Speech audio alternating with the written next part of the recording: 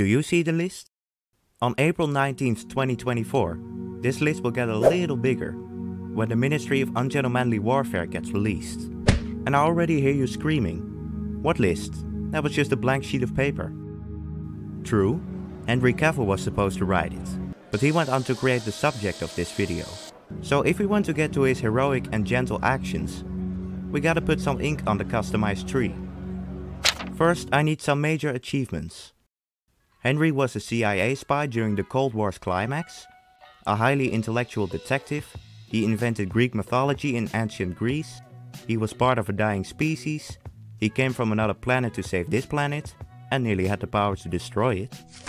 With all these rather large-scale achievements, what is still missing?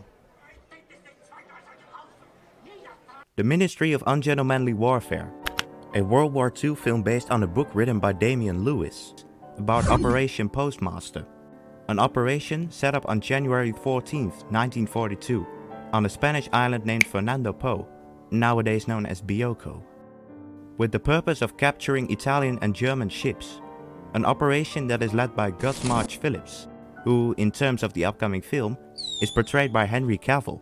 But in comparison with real life, this film will be heavily fictionalized. And based on the trailers, it seems to be a film all about killing a bunch of Nazis. Pretty much like Inglourious Basterds in that sense.